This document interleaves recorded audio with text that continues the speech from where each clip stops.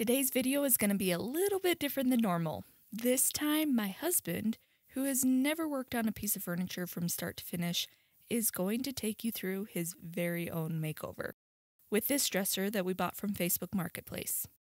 I think he has only ever used the paint sprayer that I had set up, and he only used it maybe once or twice. And that was also probably about seven years ago. Sometimes he helps with some things like cleaning or scuff sanding, and he always helps with moving and lifting the furniture, but the painting and finishing is always my job. Of course, I was around to help him out and probably stress him out even more. He is such a good sport, so without further ado, here's how it went down. First, I removed the old hardware. There was a metal plate attached to the dresser, and I removed that too.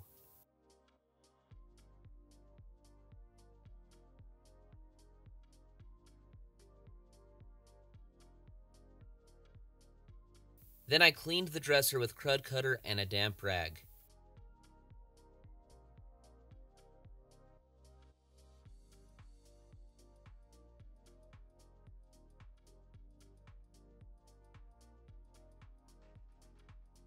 After that, I pulled out all of the drawers and vacuumed out all of the nasty dust and the spider webs inside the dresser.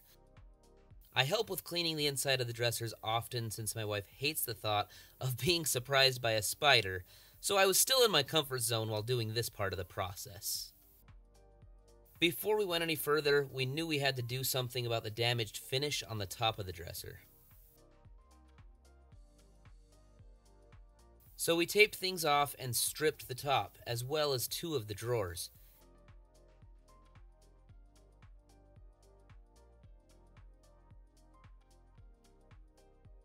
My wife has a video on how to do this, we'll link to that video in the description.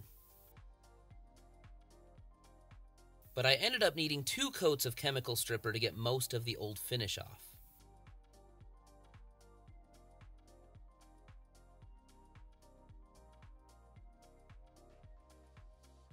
After the wood dried, there were still a few stubborn spots that I had to sand down to bare wood, but then I finally had a nice, smooth wood surface. Then, before we could dive into painting, we still had a lot of repairs to make on all of this chipped veneer at the base of the dresser. So we flipped the dresser upside down and chipped off all of the loose pieces of veneer. Then I filled in all of that veneer. My wife also has a video on this process, so we'll link to that as well. I made a newbie mistake and let the Bondo harden too fast, so I had to mix another batch of Bondo together to fill in the rest of the chipped veneer. Once the Bondo was completely dry, I used our sander to sand all of the excess Bondo off.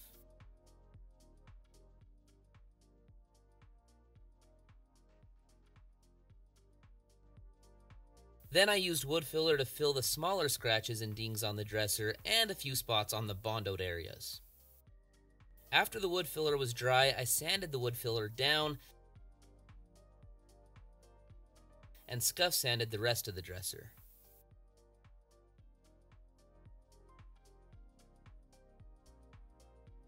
And then I vacuumed everything off and wiped it down with a tack cloth to get all the dust off.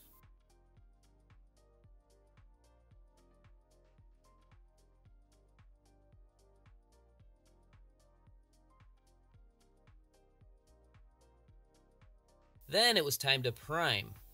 We used BIN shellac based primer that my wife got tinted a grayish color. I have never been able to get the paint department to tint BIN for me, but this time they agreed to try. It may not be the prettiest color ever, but they tinted it darker, and that was good enough for me. I rolled the first coat of primer onto the dresser, letting it dry for one hour between coats. There was more texture than I wanted when it dried, so I sanded the texture out a little bit. But I sanded back down too far and into the wood. Another newbie mistake. Then I repeated the process of vacuuming and using a tack cloth to clean up all of the dust.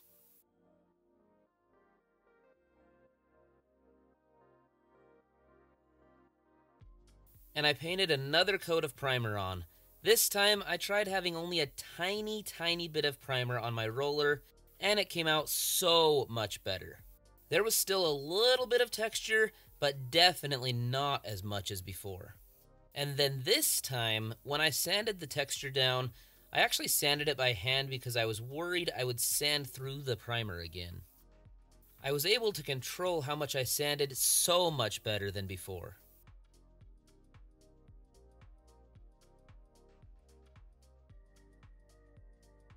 And then I cleaned it all off again.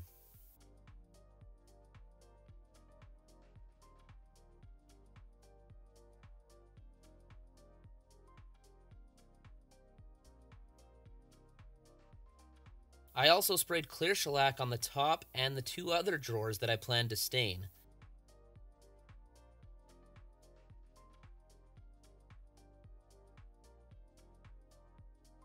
Natalie said she has heard that it helps the wood stain soak in more evenly, so I thought I would try it. Okay, so after stressing out a little through all of that priming, I was finally ready for the paint. I used Sherwin Williams Emerald Urethane Trim Enamel in this color that doesn't have a name. I thought that this paint would be easier for him to use instead of a paint that requires a top coat. Sometimes top coats are such a pain, especially over dark colors. I thinned it out by about 10% and filtered it through the paint filter like Natalie says to do.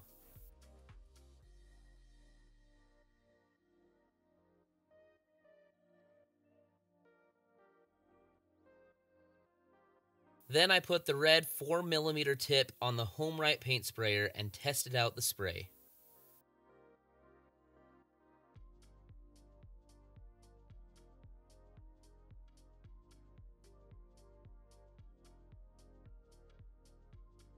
Remember, this is my first time really using a paint sprayer to paint a piece of furniture, and I was actually pretty nervous. Just ask Natalie how many questions I kept asking her through this whole process. And how many times did I say, Watch my video, it's all in there? I really wanted him to try spraying without any extra help from me. So I got started spraying the first coat, and it took some getting used to, but by the end of the first coat, my confidence was growing.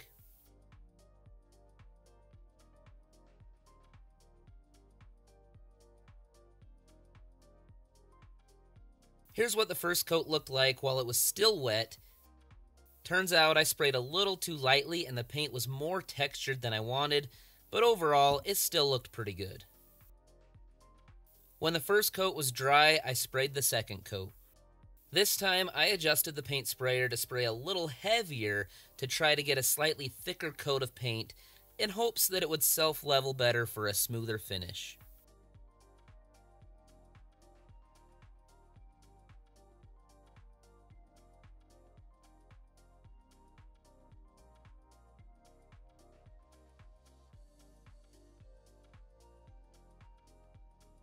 And then my wife took the plastic off the top to get a good look at the whole thing. And, not to Taylor's surprise, I told him I didn't like it. The stain top and the stain drawers needed some green between them or something. I thought honestly one of them just needed to be painted. Once she pointed it out to me, I agreed, so we went to plan B. And I primed the top of the dresser. I ended up giving it four light coats of primer. I was trying to roll it on thin so there wasn't much texture left behind, but then Natalie noticed that the wood grain wasn't filled in after two coats. So I rolled on more primer to try and fill in the deep wood grain. Then it was time to sand and sand some more. I sanded everything with 220 grit sandpaper to remove most of the texture and make it feel smoother and I sanded it by hand because I didn't want to sand too much. Since I had put paint in the sprayer again, I figured that I might as well try to get an even smoother finish on the body of the dresser than before. Then I vacuumed and used a tack cloth to get the surface all clean again.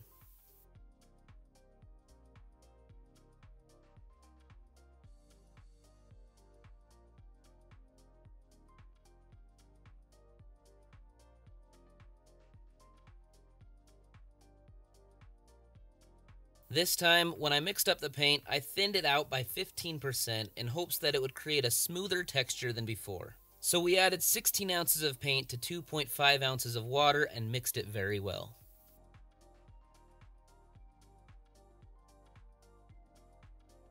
We used the 4mm tip on the paint sprayer again. Then I tested the sprayer and adjusted the volume of spray to where I was comfortable and sprayed one coat on the top.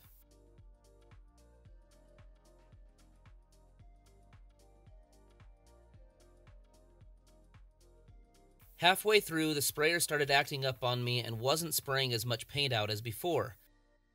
So the finish didn't look very good. So, I took the sprayer apart and cleaned out the 4mm tip and got it spraying good again. But first, before doing another coat of paint, I lightly sanded the drawers and the top to smooth out the texture again. Then I cleaned off the dust again.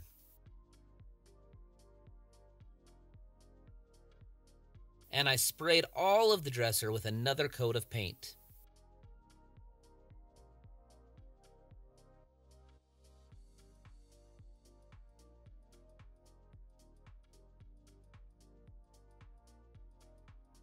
The sprayer started to spray less and less paint again as I was getting close to the end. So the top and the drawers still didn't have a really nice looking finish. So I messed around with the sprayer's tip again until I got it to work. While that last coat of paint dried, I worked on staining those other two drawers. I lightly sanded them with 220 grit sandpaper just to make them feel smooth again. Then I cleaned off the dust.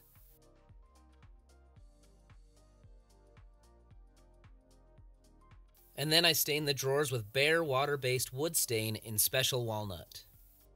I wiped the stain on with a lint free rag and then used a clean lint free rag to wipe away the excess. With my wife coaching me, I tried to wipe the stain on and off in long, even strokes that went with the grain of the wood. Yeah, you were stressing me out there a bit, but you honestly did a good job.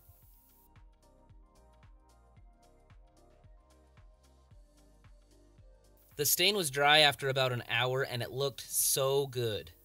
So I sprayed on three coats of Minwax polyacrylic in the spray can, letting it dry for 30 minutes between each coat. That stuff sprays like a dream, and it looks and feels so good. The stained drawers were done and looked great, but I wasn't quite done. I went back to the dresser and lightly sanded those drawers one more time. After cleaning them off, Natalie gave me the idea to put them back into the dresser. Sprayed paint dries so much smoother when it's on a vertical surface. The sides always feel smoother than the top. I guess that's another reason that I spray with the drawers in.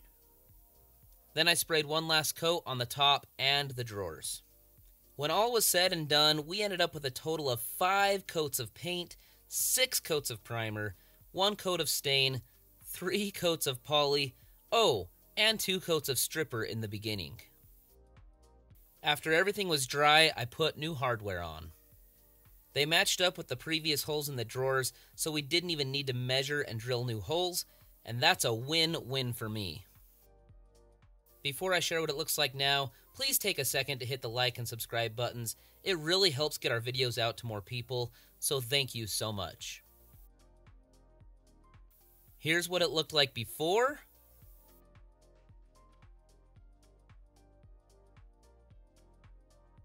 And after a lot of trial and error on my part, here is what my first ever dresser makeover looks like now.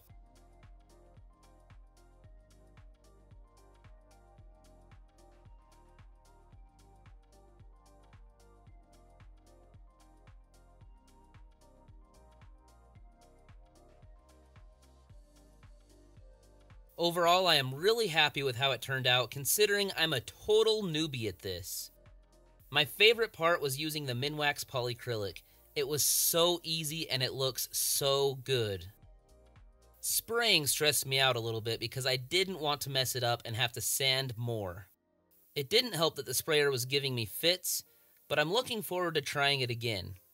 And hopefully the sprayer works better next time. I didn't like all of the sanding, but I think it was worth it to make a smoother finish. I really wanted to keep the top stained, but I think it does look better overall with the painted top. What do you think?